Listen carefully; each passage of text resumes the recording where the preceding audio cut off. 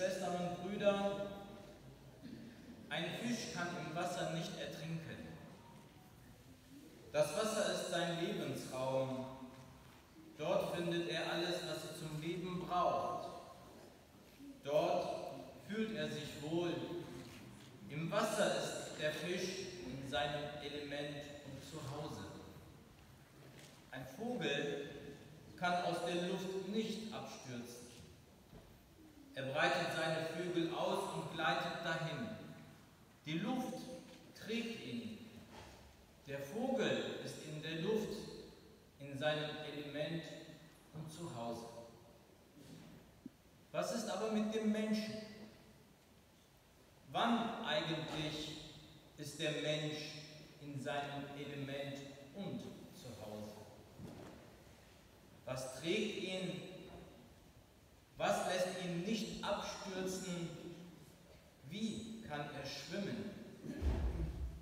Was braucht der Mensch zum Leben, damit er sich richtig wohlfühlt und sich wohlfühlen kann? Sicher, gut zu essen und trinken, geregelte Finanzen, ausreichende Altersvorsorge, eine abwechslungsreiche Freiheit, Gestaltung und Leben, Vergnügen, tun, was ihm Spaß macht, durch das ganze Leben. Aber das alles ist weltlich und zu wenig. Es reicht nicht, damit es uns so richtig gut geht. Der Mensch lebt nicht vom Brot allein und auch nicht nur vom Brot und vom Spielen und vom Vergnügen. Wir brauchen vor allem jetzt in dieser Zeit viel mehr. Und siehe da, steckt noch eine tiefere Sehnsucht in uns.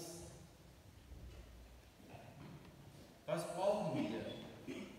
Wir brauchen das, was uns Geborgenheit schenkt, was uns glücklich macht. Wir wollen verstanden und angenommen werden. Wir wollen akzeptiert werden.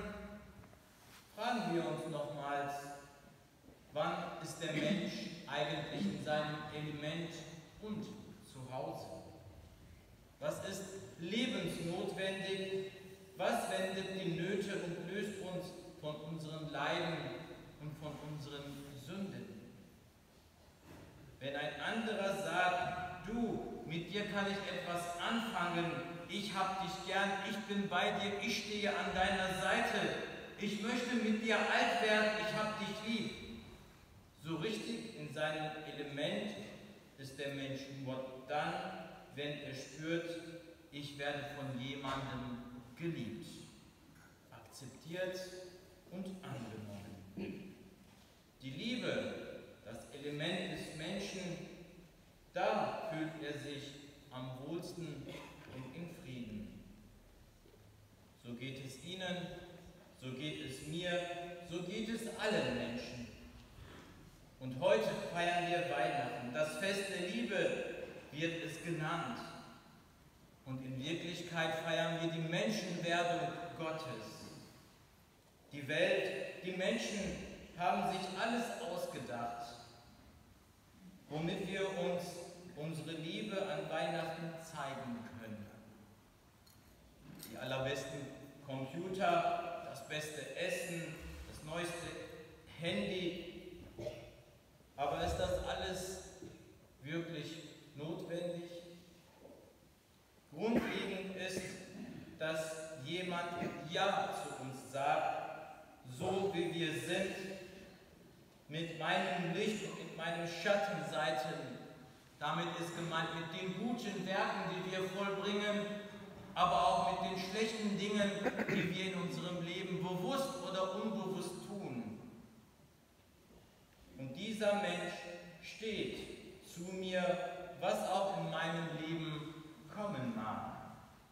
Heute ist Weihnachten. Und dieser Mensch, Gott, Jesus, hat Ja gesagt zu uns, zu uns gesprochen und zu jedem und zu allen. Denn er kam als Licht in die Welt, doch die Dunkelheit hat ihn nicht anerkannt. Und die, die ihn anerkannt haben, hat er Gottes Kinder genannt. Das ist die wesentliche Grundlage für unser Leben, das Element, in dem wir uns wohlfühlen, wie der Fisch im Wasser oder wie der Vogel in der Luft. Gott sagt Ja zu uns, seine Liebe zu uns wird handgreiflich, sie bekommt Hand und Fuß. Jesus Christus, das Kind in der Grippe, die menschgewordene Liebe Gottes, das Fleisch angenommen hat. Gott ist Mensch geworden und menschlicher hat keine andere Religion je von Gott gesprochen wie Jesus selbst. Und menschlicher und liebenswürdiger hat auch Gott nie zu den Menschen geredet wie durch Christus.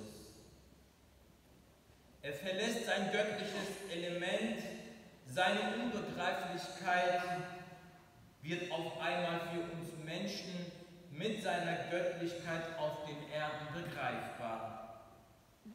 Denn die ihn annehmen, hat er Gottes Kinder genannt. Er wird greifbar, er stellt sich ganz auf die Seite von uns Menschen, egal wie wir sind, wie wir aussehen, wie groß wir sind, was für ein Leben wir führen. Er ist an unserer Seite und öffnet das, die Tür des Lichtes. Einen verlässlicheren Grund auf dem wir mit beiden Beinen stehen können, gibt es nicht. Gott lässt uns nicht abstürzen. Wie der Vogel, der durch die Lüfte geleitet, bereitet er seine Flügel aus, um uns darauf sicher zu tragen. Und selbst wenn wir darunter sind, segnet er uns. Und heute feiern wir Weihnachten. Jesus, Gott, tritt ein in unser Leben in der dunklen Welt. Kommt Licht, das die Menschheit erleuchtet. Das berührt grundlegend, weil er Leben, Freude, Leid und Tod der Menschen teilte. Deshalb ist nun kein Ort der Welt mehr gottlos, kein Abgrund mehr Gott leer, kein Menschenleben Gott fern. Und deshalb können all unsere Nöte die entscheidende Wendung erfahren und auch annehmen. Immanuel, Gott ist mit uns, was auch kommt. Jetzt gilt es einfach offen zu sein, unser Herz für diese Tatsache nicht zu verschließen, sondern zu öffnen, damit durch die Geburt das Licht auch unsere Herzen erleuchten kann. Gott, Jesus wird Mensch. Kann man größer vom Mensch denken? Es wird Zeit, dass wir es Gott gleich tun. Wenn auch wir von ihm und von unseren Mitmenschen groß denken, wenn wir an ihnen groß handeln, so wie er an uns gehandelt hat, wenn wir ganz menschlich werden, dann geben wir seiner Liebe unter uns eine Chance Möglichkeit. Dann kommt Christus durch uns zur Welt. Damit wenden wir so manche Not. Denn dann ist Weihnachten nicht nur ein Festtag der Liebe, sondern auch ein Festtag des Rettens. Dann wird Weihnachten zum Lebensgrundsatz, der Beginn des neuen Lebens. Und dann sind wir wahrlich ja auch in unserem Element als Mensch zu Hause. Liebe Schwestern und Brüder, im Namen der armenischen Gemeinde Bremen und Norddeutschland wünsche ich uns allen ein frohes Fest. Frohe Weihnachten wünsche ich uns allen. Christus ist geboren und uns erschienen. Eure Eminenz, ich darf auch unsere Glückwünsche Ihnen, dem Priester, den Diakon und der Gemeinschaft hier in bringen.